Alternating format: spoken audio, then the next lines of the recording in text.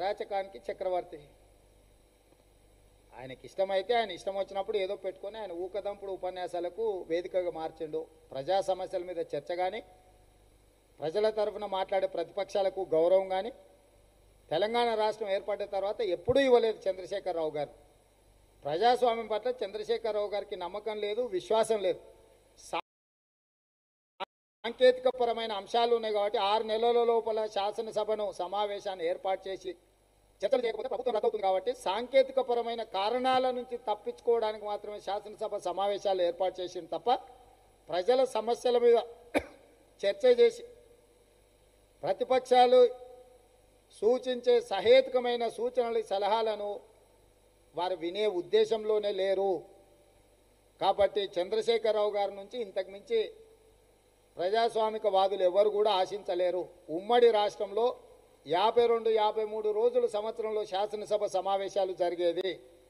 ఒక బడ్జెట్ సమావేశాలే ఖచ్చితంగా ముప్పై నుంచి ముప్పై రెండు రోజులు బడ్జెట్ సమావేశాలు జరిగేది దురదృష్టవశాత్తు తెలంగాణ వచ్చిన తర్వాత మొత్తం సమావేశాలు కలిసి పన్నెండు పదమూడు రోజులు నడుస్తున్నాయి. ఇంతకంటే దుర్మార్గం లేదు. ఏడు రోజులకు మించి బడ్జెట్ సమావేశాలు జరుపుతలేడు.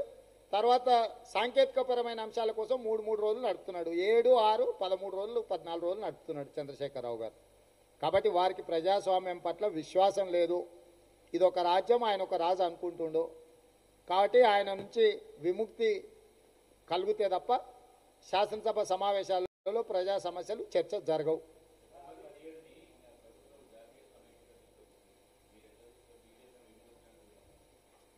వీళ్ళిద్దరు ఎప్పుడు పుట్టిరా ఓడు పంతొమ్మిది వందల ఎనభై ఒకటిలో పుట్టిండు నలభై ఒక ఏండ్లు అయింది.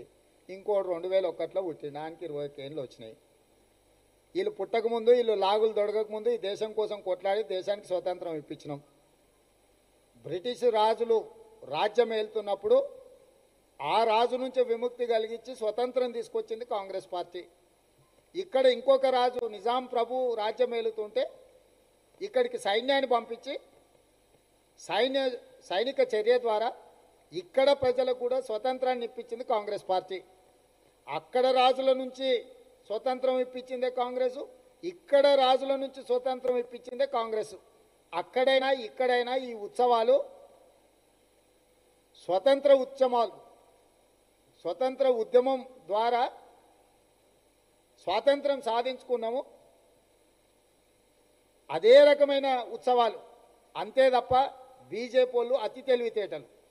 ఇదేదో ముస్లింలకు వ్యతిరేకంగా హిందువులు కొట్లాడినట్టు ఇది హిందూ ముస్లింల పంచాయతీగా చిత్రీకరించి ముస్లింలను వ్యతిరేకించడం ద్వారా మాకు అధికారాన్ని కట్టబెట్టాడని వీళ్ళు ఎదవేశాలు. ఇక చంద్రశేఖరరావు క్రిస్టియన్ మైనారిటీ ముస్లిం మైనారిటీలను కాపాడుతున్నట్టుగా వ్యవహరించి ఆ ఓట్లు సాలిడ్గా తన గంపలో వేసుకోవాలని చంద్రశేఖరరావు గారు అతి తెలివితేటలు. ముస్లిం క్రిస్టియన్ మైనారిటీలను కాపాడుతున్నట్టుగా రాజకీయ ప్రయోజనం పొందడానికి కేసీఆర్ ప్రయత్నం చేస్తే హిందువుల తరఫున కొట్లాడుతున్నట్టుగా బీజేపీ మత విభజన తీసుకొచ్చి ఒకడు విలీనం అంటాడు ఒకడు విమోచనం అంటాడు ఇంకోడు ఏం చెప్తున్నా ఆయనకే తెలియదు. వాడెవడో ట్విట్టర్లో పెట్టిండంట వీడెవడో దాన్ని ఆమోదించిండంట వాళ్ళిద్దరు కలిసి ముందుకు పోయారట. వాని కార్ అంట వీంది స్టీరింగ్ అంట వాని చేతులు ఉందంట వీని దగ్గర బ్రేకులు ఉన్నాయంట వీళ్ళందరూ ఇట్లాంటి ఇంత గొప్ప సాయుధ రైతాంగ పోరాటం ద్వారా వేలాది మంది ప్రాణాలను అర్పించి మర పిరంగులకు తుపాకీ తూటాలకు ఎదురొడ్డి నిలబడి సాధించుకున్న స్వతంత్రాన్ని చిల్లర మల్లర రాజకీయ ప్రయోజనంగా వాడుకొని చర్చ చేస్తుందంటే నిజంగా వాళ్ళు క్షమించరాని నేరస్తులు. ఈ ఉద్యమంలో ఈ పోరాటంలో పాల్గొన్నది కాంగ్రెస్ పార్టీ కమ్యూనిస్టులు.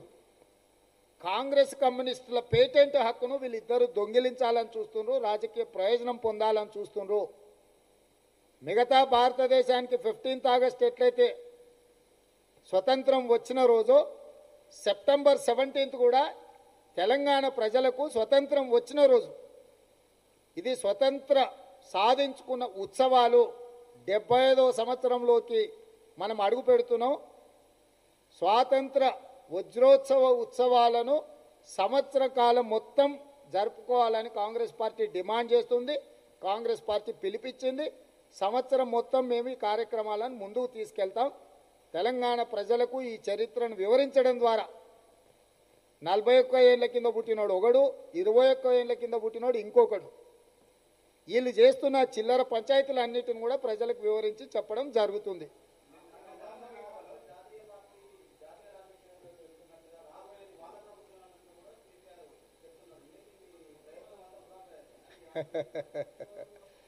పాతకాలంలో ఎవరో చెప్పారు కదా ఉట్టికి ఎగరలేని అమ్మ స్వర్గానికి ఎగురుతా అన్నదని. కూట్ల రాయి తీయలేనోడు ఏట్ల పోయి మునిగి పెద్ద బండరాయి తీస్తా అని. ఇవన్నీ పెద్దోళ్ళు ఉత్తగా చెప్పలే. ఇట్లాంటి కేసీఆర్ లాంటి వాళ్ళని చూసి అప్పుడే చెప్పారు ఆయన ఏదో ఆయన ఆయన సంతోష పెట్టుకోవడానికి ఆయన మీద సన్నగిల్లుతున్న నమ్మకాన్ని వాళ్ళ శ్రేణులకు ఇవ్వడానికి చంద్రశేఖరరావు గారు ఇట్లా మాట్లాడినరు ఆయనకు తాడు లేదు బొంగరం లేదు. పిల్ల గుట్టనే లేదు కుల్ల కుట్టినా స్వెటర్ కూడా కుట్టినా అని ఆయన చెప్తుండు. ఆయన జాతీయ రాజకీయం ఏదో పార్టీ అన్నాడు ఒకసారి ఫెడరల్ ఫ్రంట్ అన్నాడు మళ్ళీ ఇంకోసారి బీహార్ రాష్ట్ర సమితి అన్నాడు.